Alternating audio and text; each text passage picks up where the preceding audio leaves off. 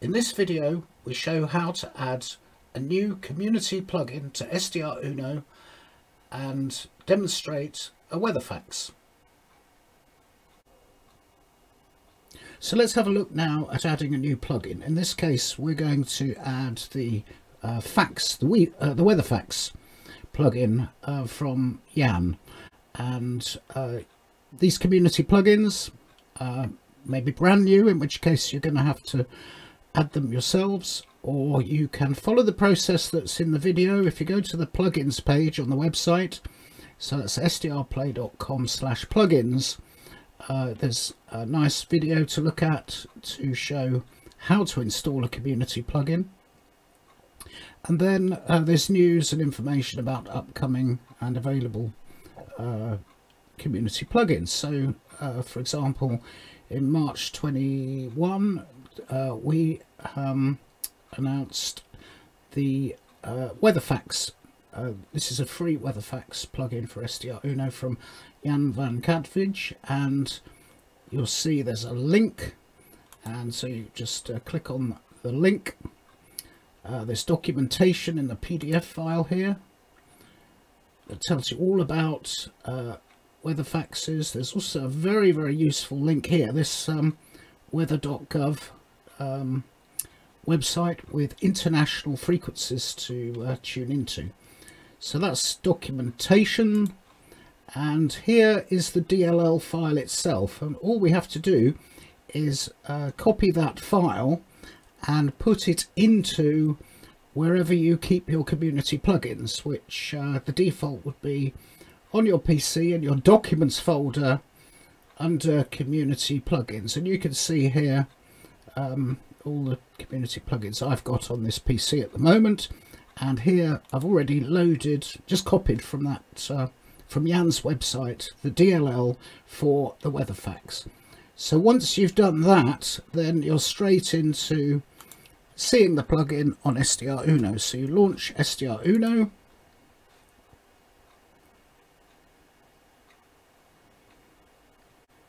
And once you've launched SDRuno. We're going to select from the list of plugins. You'll find at the top are all the uh, SDRplay provided plugins in alphabetical order and then underneath all the uh, all the community plugins in alphabetical order. So here we are fax load the plugin and up comes the control panel for the uh, WeatherFax decoder so here's the document uh, from weather.gov slash media slash marine uh, rfax.pdf which has international frequencies Africa Asia uh, I'm based in the UK so I think my best bet for uh, signal to pick up will be under Europe. Scroll down and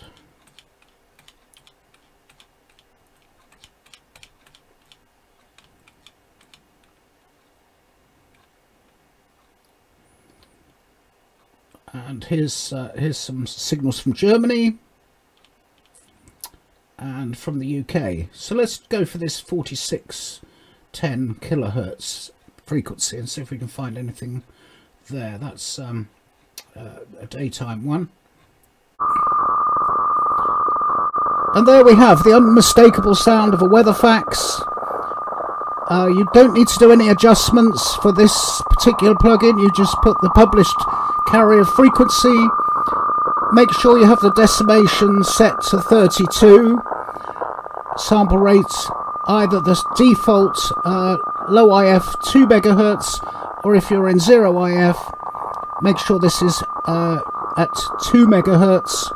It's all in the documentation from Jan. And then on this uh, very simple WeatherFax module there's a cheat button. The purpose of the cheat button is really that you don't have to wait for the beginning of a transmission. Uh, normally, if it picks up the header, it will initiate the download of the image, but in this case, uh, I've just come along halfway through and it's going to just uh, complete the picture for me.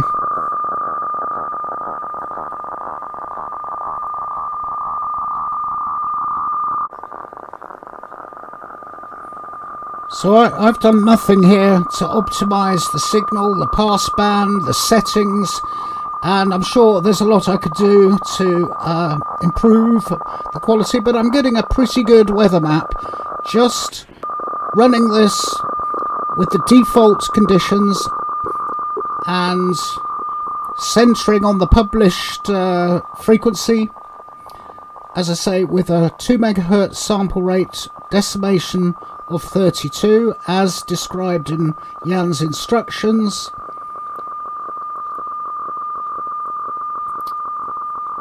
I just typed in the frequency 4610 kilohertz. And then I use this very neat cheat feature to allow me to instantly, having got a signal, uh, assess the quality the quality of the uh, of the map that I can receive so I think that's that's pretty good. I'm just using um, a wire antenna. It's uh, daytime, late morning, UK.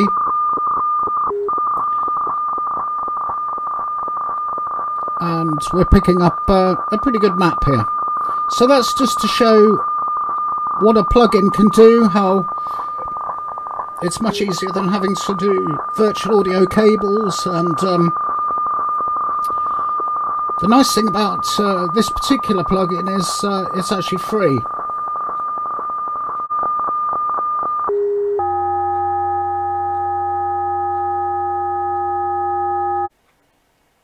To find out more about both our plugins and the community plugins, go to sdrplay.com slash plugins.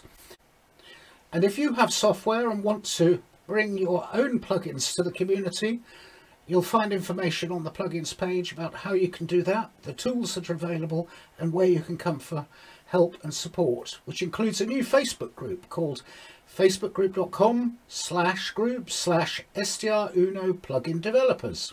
Thank you for watching.